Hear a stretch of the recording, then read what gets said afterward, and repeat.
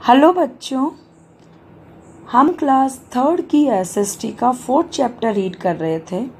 इससे पिछले वीडियो में हमने हमारी country, our in, country, India के बारे में रीड किया और हमने कुछ फ़िज़िकल डिवीज़न के बारे में रीड किया, जिसमें हमने ग्रेट हिमालयास, नॉर्थन प्लेन्स और डेजर्ट ऑफ़ थार के बारे में रीड किया। आज हम इसका रिमेनिंग पार्ट रीड करेंगे। द प्लेटो, यानी पठार। A plateau is that land which is higher than the plains surrounding it. पठार वह भूमि होती है जो कि उसके चारों ओर के मैदानी भागों से ऊँची होती है। यानी कि मैदानी भाग से जो ऊँचे होते हैं, न वो पहाड़ होते हैं, वो क्या कहलाते हैं? वो पठार कहलाते हैं। In south of India there is a plateau called the Deccan plateau Bharat के दक्षिण में एक पठार है, जिसे दक्कन के पठार के रूप में भी जाना जाता है। It land here is hard and rocky यहाँ की ज़मीन कठोर और पथरीली होती है। It covers a large part of our country यह हमारे देश के एक बड़े से हिस्से को कवर करता है। Some areas in this plateau are covered with thick forest. इस पठार के कुछ हिस्से घने जंगलों के द्वारा कवर किए हुए हैं। The rivers here are small. यहाँ की जो नदियाँ होती है, वो बहुत छोटी होती है। Some of the famous rivers are Narmada, Krishna, Kaveri, Godavari, Tapi and Mahanadi. कुछ प्रसिद्ध नदियाँ जैसे नर्मदा, कृष्णा, कावेरी, गोदावरी, तापी और महानदी है जो कि इस भाग में बहती है। The plateau region is rich in minerals पठारी क्षेत्र खनिज में रिच है, यानी कि समृद्ध है। There for many mines are located here इस कारण से इस क्षेत्र में कई खदानें पाई जाती है। Thick forested forest area have many tribe living in them घने जंगलों वाले इलाकों में कई जनजातियाँ रहती है। घाट्स। अब हम घाट के बारे में पढ़ेंगे। The eastern and western Ghats are two are low mountains on the two sides of the Deccan plateau पूर्वी घाट और पश्चिमी घाट। डेक्कन पठार के, दक्कन के पठार के दोनों ओर कम ऊंचाई के पहाड़ हैं। As the Deccan Plateau sloped down from west to east, the river here all flow into the Bay of Bengal except Narmada and Tapi Deccan के पठार का ढलान पश्चिम से पूर्व की होने की ओर होने के कारण नर्मदा और तापी नदी को छोड़कर यहाँ की सभी नदियाँ बंगाल की खाड़ी में गिरती है the land here is hard rocky and uneven यहाँ की जो भूमि है, वो कैसी है? असमान, कठिन और पथरीली है। As there are coastal areas the coast have plenty of rains and have a moderate climate यहाँ जैसा कि ये तटीय क्षेत्र है तो तटों में भरपूर बारिश होती है और यहाँ की जो जलवायु होती है वो कैसी होती है? मध्यम प्रकार की जलवायु होती है। आइलैंड्स इसके बाद हम आइलैंड यानी द्वीप समूह के बारे में रीड करेंगे। There are many islands in the water bodies surrounding our country हमारे देश के आसपास के जल निकायों में कई द्वीप समूह हैं।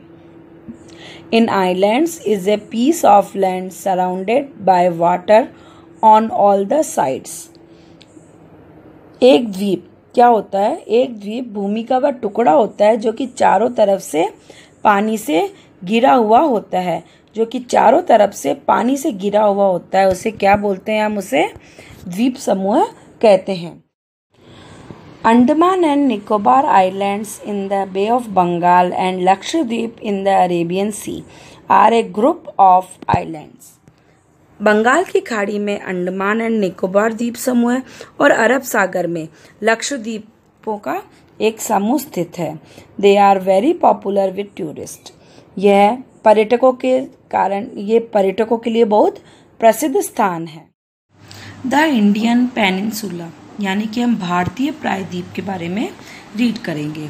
The Indian peninsula lies in the southern part of India भारतीय प्रायद्वीप प्रायद्वीप भारत के दक्षिणी भाग में स्थित है।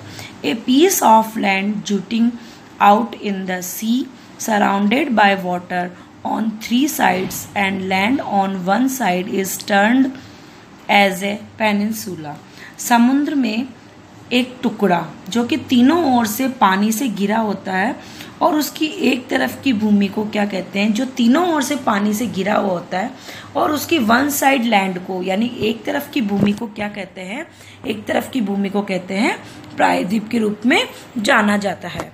The Arabian sea in the west the bay of Bengal in the east and the Indian ocean in the south around the Indian peninsula जो भारतीय प्रायद्वीप है, उसके दक्षिणी भाग के अंदर तो क्या है? हिंद महासागर। पश्चिमी भाग में अरेबियन सी और पूर्वी भाग में बे ऑफ़ बंगाल है।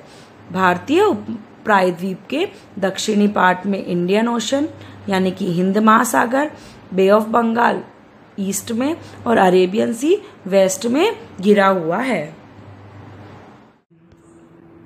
क्लाइमेट। अब हम इंडिया के क्लाइमेट के बारे में रीड करेंगे। Just as the land surface is not the same the climate too varies in different part of India जिस प्रकार एक भारत की जो एक भूमि है, उस भूमि का जो सतह है, वो भी सेम नहीं है। उसी उसी प्रकार जो भारत का जो क्लाइमेट है, वो अलग अलग पार्ट में अलग अलग वहाँ की जलवायु होती है। In north the summer are hot and winter are cold उत्तर दिशा में क्या होता है?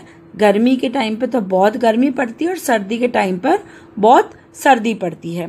In coastal areas the climate is neither hot nor cold it is humid coastal area यानी कि तटवर्ती इलाकों का क्लाइमेट कैसा होता है, वहाँ की जलवायु कैसी है होती है, न तो ज़्यादा गर्म जलवायु होती है और न ही ज़्यादा ठंडी जलवायु होती है, बल्कि कैसी होती वहाँ की जलवायु नमी लिए हुए होती है। In south the climate is generally hot और साउथ का क्लाइमेट दक्षिण भारत का क्लाइमेट कैसा होता है, जलवायु कैसी होती है हॉट होती सामान्यतः गर्म होती है. The climate in the mountains is cold throughout the year as most of high peak of mount mountains remain cover with snow और माउंटेन्स कैसे होते हैं? साल भर तक जो पर्वतों पर क्या होती है? ठंड रहती है. और जो ज़्यादा ऊंचाई की जो पहाड़ियाँ होती है, वो किससे कवर होती है? बर्फ़ के द्वारा कवर होती है। यानी कि यहाँ हमने देखा कि जो इंडिया का क्लाइमेट है अलग अलग जगह पर वहाँ की जैसे भूमि सतह अलग अलग है, उसी प्रकार इंडिया का इंडिया की जलवायु भी हर पार्ट की अलग अलग है। तो इस टॉपिक से हमारा लेसन फोर कंप्लीट होता है। इस पार्ट में, इस लेसन में हमने इंडिया के बारे में रीड किया कि इंडिया क्या है। इंडिया हमारी कंट्री है जो कि सेवेंथ लार्जेस्ट कंट्री है पूरे वर्ल्ड की और पॉपुलेशन में सेकंड नंबर पे है ये इंडिया की कंट्री वर्ल्ड में। इसके बाद हमने इसके फ़िज़िकल डिवीज़न के बारे में लर्न किया।